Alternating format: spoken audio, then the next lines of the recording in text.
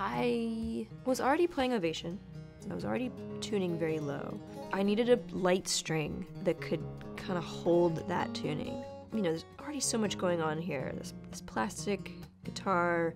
When I first tried elixirs, it was I was thinking a coated string would probably sound a little more mellow. And it took maybe three days of playing, and I was like, these things sound and play really, really well.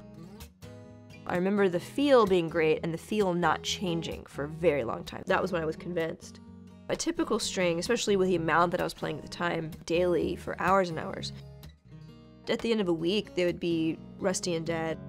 But elixirs weren't like that. They they sort of settled in and then they stayed there for a long time. And then the playability just kept me around.